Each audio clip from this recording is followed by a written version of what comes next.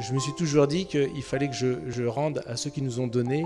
Euh, j'ai toujours trouvé ça dur que des gens aient beaucoup de mal à, vivre euh, quand d'autres vivraient bien. Donc euh, je me suis toujours dit que offrir au potager d'un cours un espace de terrain des gens peut-être qui seraient en situation de difficulté pour faire eux-mêmes leurs propres légumes pouvait être euh, un, bel acte entre guillemets pour participer à cette philosophie de, rendre euh, du lien entre les habitants du village au moyen entre guillemets de, cette activité-là. Euh, bah, les, images parlent d'elles-mêmes.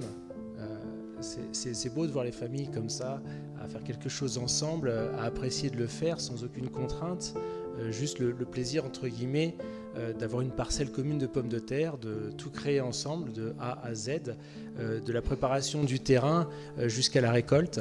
Et quand on y voit des personnes plus ou moins âgées, les, enfants qui participent, qui sont là, bah, je trouve que dans la vie d'un village, ça, ça, ça parle.